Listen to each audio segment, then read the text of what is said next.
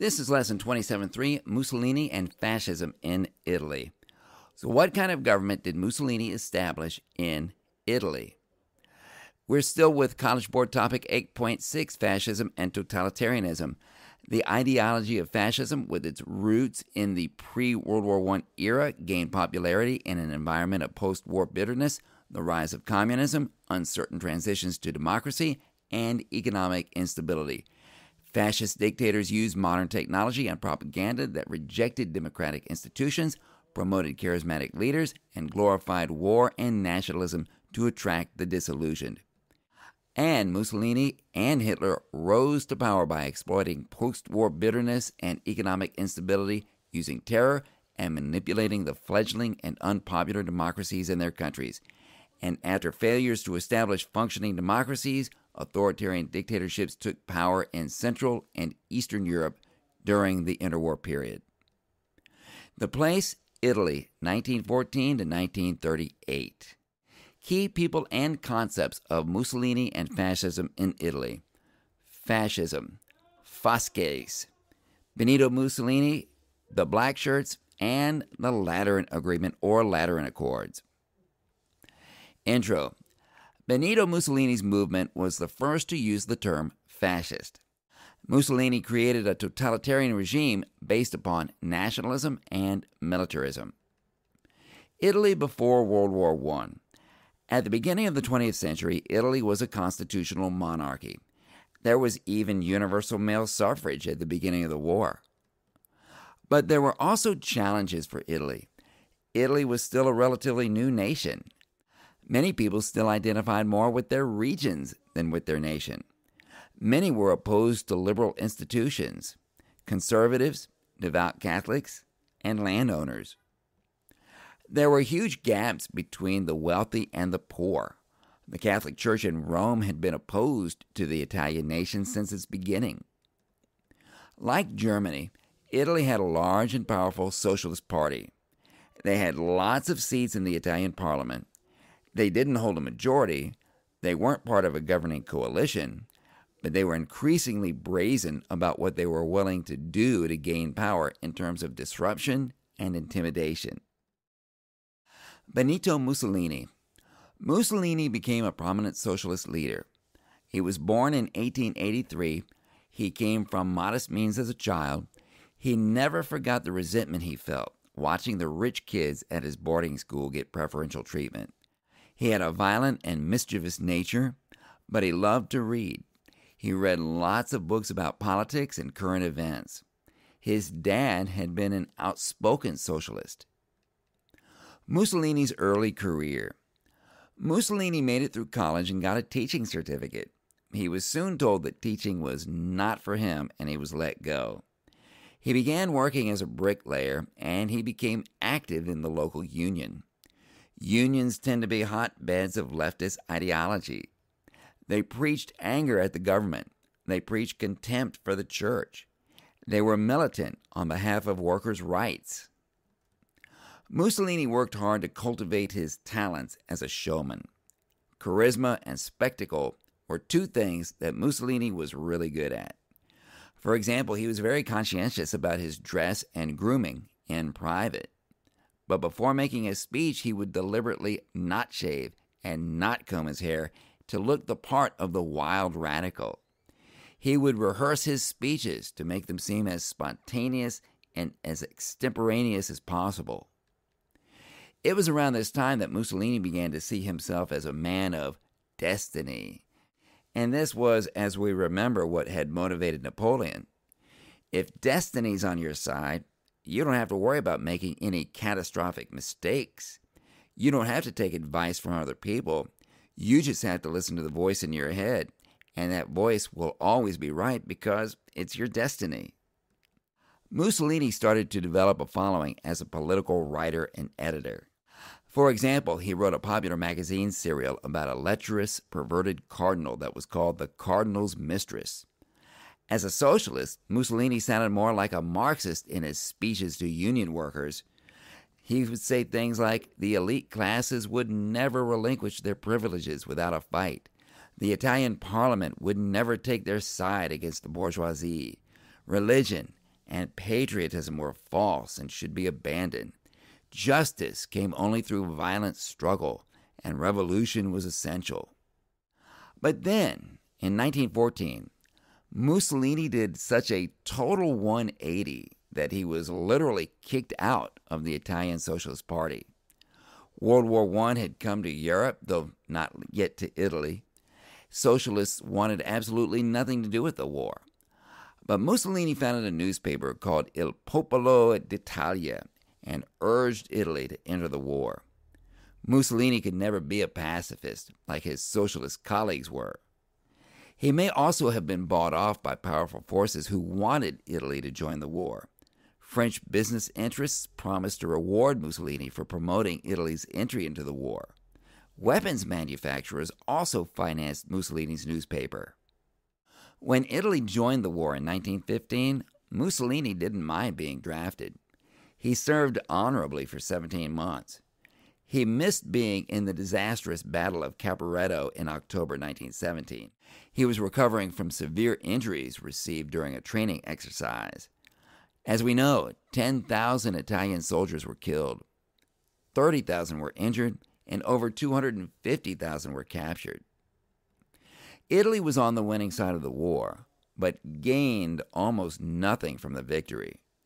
Italy received none of the territory that had been promised to it. Italy's king, Victor Emmanuel III, wasn't even invited to the Versailles Peace Conference. And as a result, the Italian Socialist Party became bigger and stronger than ever. They had been against Italy joining the war from the beginning, and now they were the only ones who could say, I told you so. As a powerful, though not governing party, you have two choices. You can try to legislate the things you want, or you can go out and take physical action to force the things you want. The Italian Socialist Party chose the latter. They literally hired gunmen to go to the factory strikes and intimidate those who wanted to break the strike in order to work. Sometimes they even took factories over completely. They took control over numerous local municipal governments. Socialist peasants in the country started claiming the land that they had been working as their own. All of this was very alarming to the conservatives. There was no middle ground upon which to reach a compromise with the socialists. The Italian economy suffered greatly from all the disruption. Prices rose, food shortages grew, basic government services broke down, trains ran days or even weeks late. Thousands of Army veterans returned home from the war to be confronted by hecklers and no job. Parliament was regarded as totally corrupt and ineffective at governing. The king, Victor Emmanuel III, was timid and indecisive. And all of this was the perfect storm for a charismatic showman to show up.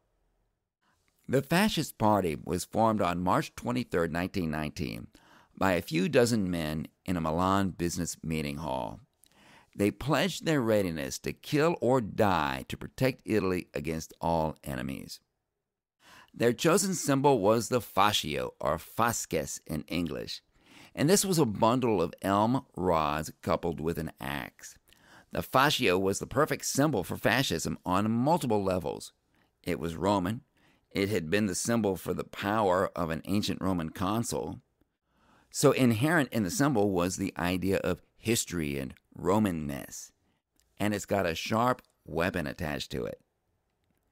Its construction said what they wanted to say about their party. You could think of each rod as representing a different segment of Italian society that had bought into the party workers, students, soldiers, business people, all Italian, all supporting each other and looking out for each other, and excluding anything or anyone that didn't qualify as Roman. Within two years, the party had 2,000 chapters. Their leader was Mussolini, and it grew for two reasons. Number one, millions of Italians hated the disruptions they were seeing in their country. And number two, they were also very afraid of what was happening in Bolshevik Russia. Mussolini's message reject the capitalists who want to exploit you, reject the socialists who want to disrupt your lives, Reject the crooked and spineless politicians who do nothing but talk while the country goes in decline. Italians should unite on a common front against those who had been holding Italy back the foreign, the weak, the politically unreliable. Believe in an Italy that would be prosperous because it would be self sufficient, and believe in an Italy that would be respected because it would be feared. Mussolini's primary target was his old party, the Socialists. The Socialists still enjoyed the most favorable political status in Italy.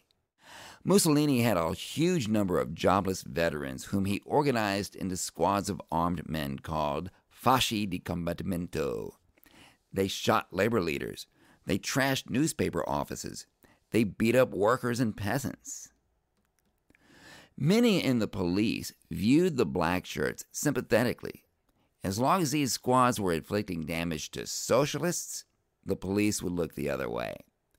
With the fasci di combattimento, Mussolini was driving the socialists out of cities and towns all over Italy. They wore distinctive makeshift uniforms.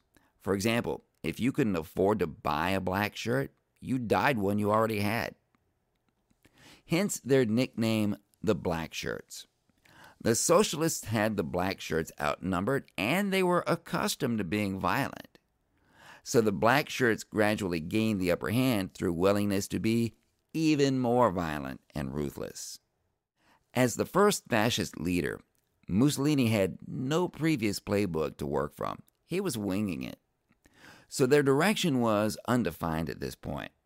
They had lots and lots of goals, but the movement was like a bunch of independent planks without a platform. There was no single manifesto.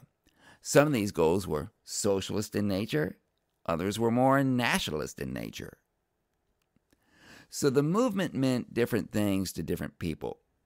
For some, it was a way to rescue capitalism and the Catholic Church from the Leninist hordes. For others, it meant defending tradition and the monarchy. For others, it was a chance to bring glory back to Italy. For some, it meant a paycheck. For some, it meant a sanction to get violent and beat people up. Mussolini himself was more pragmatic than ideological. He accepted money from big corporations and banks. At the same time, he also spoke the language of veterans and workers. He even tried hard to reconcile with his former socialist colleagues, but the socialists weren't having it and his more extreme fascist followers were angry that he even tried. As the political environment got worse in Italy, Mussolini had to become ever more militant in order to keep pace with the growing militancy of the people he was supposedly leading. So, in some ways, the tail of violent right wing militancy was wagging the dog. And this situation led to the March on Rome. The March on Rome, October 1922. Mussolini decided it was time to challenge the government directly. He mobilized fascists from around Italy. He made a speech in Milan at the party conference in which he said, Either we are allowed to govern or we will seize power by marching on Rome. King Victor Emmanuel III was really the only person in a position to stop Mussolini's fascists. The politics in Italy had become polarized between two extremes the fascists and the socialists.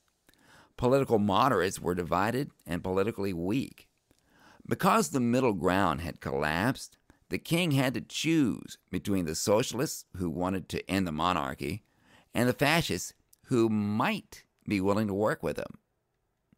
The army and the prime minister advised King Victor Emmanuel III to block the march arrest Mussolini, and deal with the socialists later. And at first, the king did nothing to stop this march on Rome. Then, the fascists started to occupy media sites and government buildings. So at 2 a.m. on October the 28th, the king ordered that the fascists be stopped. But then, at 9 a.m., just hours later, he reversed himself and told the army to stand down. The king had convinced himself that the fascists could defeat his army, which they could not have if the king had just stayed the course. With tens of thousands of black shirts marching on Rome unopposed, the king cabled Mussolini in Milan and asked him to be the new prime minister of Italy. The current prime minister had lost his majority in the Italian parliament, so there was a legal avenue available to replace him. Mussolini had become prime minister of Italy over the course of a weekend. He did it without winning an election, but he also did it without technically violating the Constitution. Another march on Rome took place on October the 31st, but this march was more of a celebratory parade than it was a coup. The march included people with makeshift weapons from all walks of life fishermen, clerks, shopkeepers, farmers, even about 200 Jewish people. Two weeks later, Mussolini made his first address to the still socialist dominated Italian legislature and he began his speech by striding into the hall and giving the Roman salute. And this was a good example of Mussolini's talent for theater and showmanship. European artists had attributed this salute to classical Rome in the neoclassical artistic period that we studied. Mussolini's fascists formally adopted it in 1923. But American school children did the exact same salute when reciting the Pledge of Allegiance from the 1890s all the way up to World War II. No one associated with Nazism because there were no Nazis yet. It was phased out and replaced with holding the hand over the heart after Hitler started using that salute. Mussolini had intimidating security guards sitting around the edge of the chamber, fondling daggers the entire time and Mussolini warned Parliament that he could have bivouacked all his troops right there in the Parliament chamber and barred Parliament. And the only reason he had not was because he had not wished to. And he told them that he could dissolve Parliament anytime he wanted. Once in power, Mussolini actually found that he enjoyed providing good government. Most authoritarians enjoy the power, but not the governing. They don't really care about serving the people. The people are supposed to serve them. However, Mussolini saw good government as a path to popularity. The people had been deprived of good government for so long, and he wouldn't really have to work that hard because the only direction he could go was up. Examples of Mussolini's government reform daily roll calls in ministry offices, and berating employees who arrived late or took long lunches. He also fired more than 35,000 civil servants. And he repurposed fascist gangs to protect rail cargo from thieves. He didn't quite get the trains to run on time, but they were a lot better. He allocated money for essential infrastructure, such as bridges, roads, telephone exchanges, and aqueducts. He gave Italy an eight hour workday. He codified insurance benefits for the elderly and the disabled. He funded prenatal health care clinics. He established 1,700 summer camps for children. And he went after the mafia by suspending the jury system and thereby depriving the mafia of juries that they could threaten and intimidate. However, Mussolini's desire for good governing also fed his desire for power. He felt it was necessary for him to rule absolutely. Men of destiny like Mussolini have complete trust in their own judgment and intuition. He insisted that his instincts were always right. He once said to a reporter, Often, I would like to be wrong, but so far it's never happened. He didn't want to hear any advice that might make him doubt himself. In April 1924, he got the Italian parliament to pass an election law that said that whatever political party got the most votes would get an automatic two thirds of representatives. This reminds me a little of our own Senate's 60% supermajority filibuster rule. This rule put the Fascist Party in control of the parliament. When socialist leader Giacomo Matteotti produced evidence of vote rigging, he was kidnapped and murdered. And by the end of 1926, Il Duce, the boss as Mussolini was called, had eliminated all competing political parties, and Italy was a one party state. Mussolini abolished freedom of the press. He stripped the labor movement of any power. He secured the right to name municipal officials himself. He took control of the national police, but he also expanded it and he also widened its duties to include internal surveillance. He controlled the monarchy by reserving the right to name any successor to the king.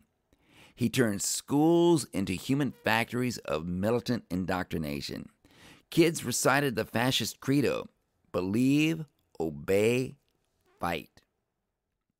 Mussolini predicted that the new century would be marked by the people's thirst for authority, and he preached of a dominant Italy which would become great with more spazio vitale, living space. Spazio Vitale would have Italy dominating the entire Mediterranean. The pathway to Spazio Vitale was war, which he encouraged Italians to embrace. Through war, Mussolini reduced Albania to a protectorate.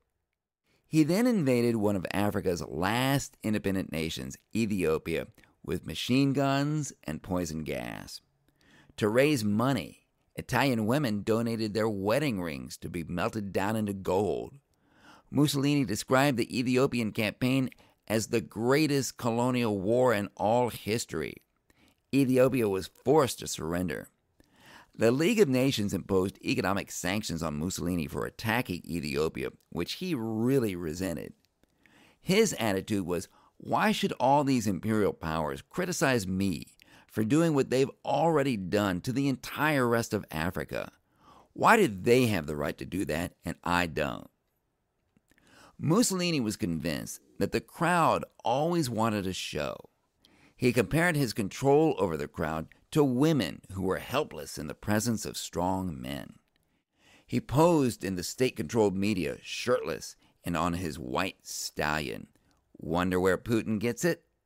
Mussolini attended countless weddings, factory openings, and patriotic events. When giving speeches, he stood on a small platform to look taller. He was five foot six inches. His image was used to endorse countless consumer goods like hair tonic and baby food and lingerie and pasta.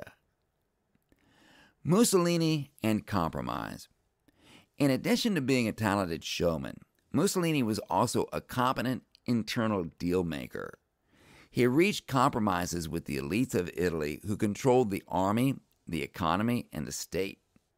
He completed the Lateran Agreement, also known as the Lateran Accords, also known as the Lateran Treaty of 1929, with the Catholic Church.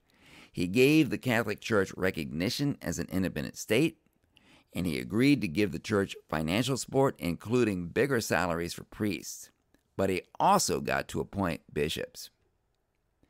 Because of these compromises, Mussolini was never able to establish complete totalitarian control. Mussolini's shortcomings. He had a poor understanding of economic issues such as interest rates and currency. His expectation that he could make Italy economically self sufficient was totally unrealistic. He promised the Italian people all things, but Italy lacked the resources. Mussolini was also a poor diplomat and judge of individual character. In 1937, Mussolini visited Berlin, and he was so impressed with Hitler that he pledged his support and promised that Italy and Germany would march together right to the end. In 1938, he even passed a series of unpopular anti Jewish racial laws. Jewish students were forced out of public schools. Jewish people were dismissed from professional careers. But absolute brutality against the Jewish people didn't occur until the Nazis took over northern Italy late in World War II.